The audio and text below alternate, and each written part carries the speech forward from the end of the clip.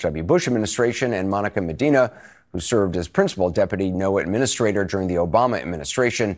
I spoke to them just before airtime.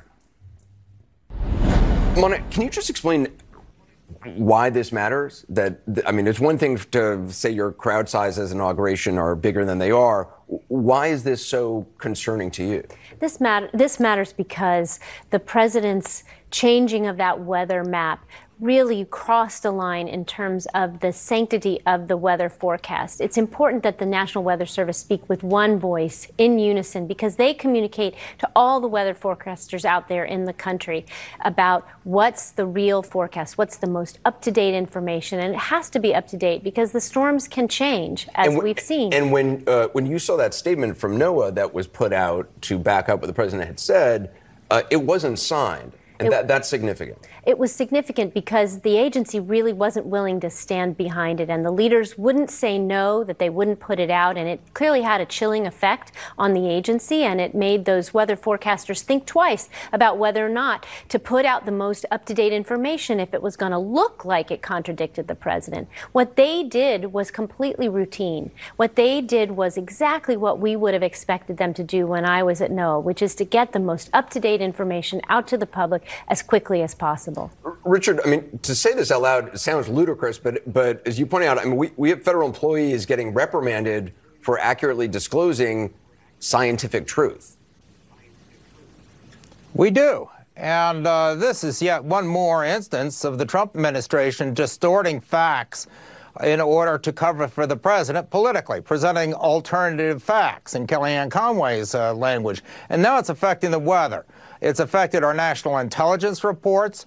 It's affected our approach to climate change and other scientific evidence about environmental degradation from sulfide mining and all sorts of things. And now we even have politicized weather reports.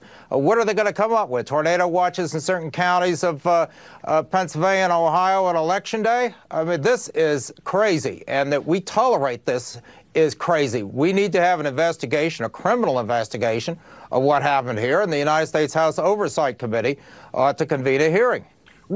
Monica, I mean, you worked uh, at NOAA under two, under uh, in the Clinton administration and also in the Obama administration. Would this have happened? I mean, has ever has this ever happened before? This is completely unprecedented in the modern era, and it's why those rules about and the criminal statute was put in place. There is a criminal statute to protect the accuracy of the forecast so that everyone speaks with one voice clearly. In the past, that wasn't the case a long time ago. 100 years ago. And that really was a dangerous situation, caused people to die. And so the, the Bureau at the time, the Weather Bureau, uh, set procedures in place, and Congress put that law into place to protect the public.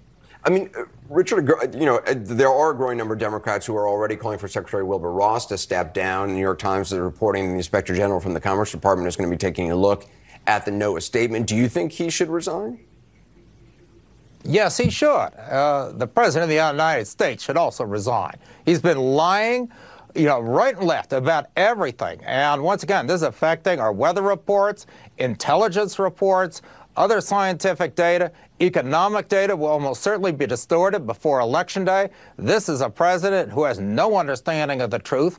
He needs to be impeached. And this is just one more example of it. We can't even get an accurate weather report with Donald Trump in office. You know, and for, yes, people's lives are in danger. And I mean, you know, for days, uh, people we, people have been discussing this and saying, well, this is ridiculous that we're even discussing this, talking about you know a Sharpie thing on a map and and.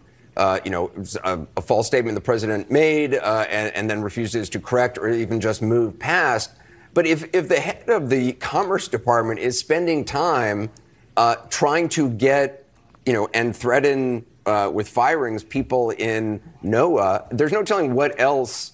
If you're willing to do that for something as meaningless as trying to cover up for the president making a error, um, it, it, there's no telling what else is going on. Well, exactly. You have no idea what's going on with nuclear weapons in North Korea, for example. And do you trust this Pentagon? Do you trust the uh, intelligence services under Donald Trump to present accurate information about whether there is a nuclear threat in North Korea? I certainly don't.